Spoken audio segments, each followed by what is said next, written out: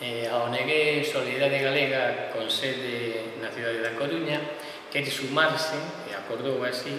en sumarse á segunda marcha mundial pola paz e a non violencia